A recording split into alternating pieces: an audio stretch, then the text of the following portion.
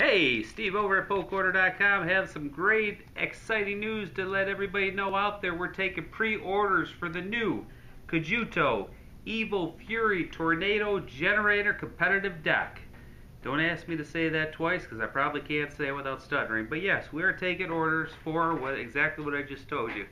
Guys, it's going to be a new competitive deck to go along with our other competitive decks that we currently have, like the Rise of the Duel Master uh, Rocket Storm and the Rise of the Duel Master Sonic Blast. So guys, go to pokeorder.com, place your orders. We love you out there, guys. Go to our website. We do everything for you. We try to get the hottest cards, and we're taking pre-orders for these right now. So place your orders, guys. Have a great day. Steve at pokeorder.com.